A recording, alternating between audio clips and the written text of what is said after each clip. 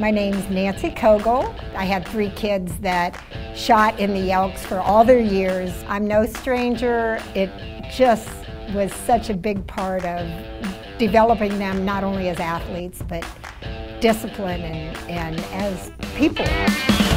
I'm here to watch my grandson. My uncle CJ won four national championships. We argue about it all the time.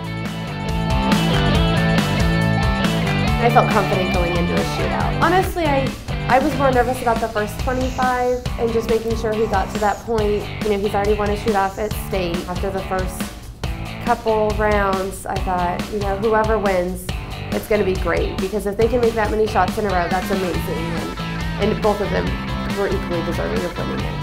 It's Camden Kruger. I told him, good job, and that I'll see him next year.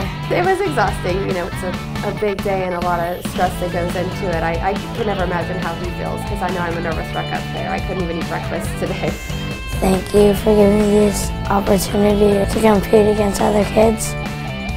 I'm proud of you, son. We're very proud. I know Daddy's proud, and we're so glad that we got to come here with you. We're thankful for our free Chicago trip. Yes. And just remember this is what all that work is for. All the hours and all the hard days and the good days. This is one of the things that makes it worth it. Thank you a lot. And Camden can also claim the fact that he's better than Steph Curry because Steph's only a 90 quick. It's amazing, I'm the national champion. And I have four years left.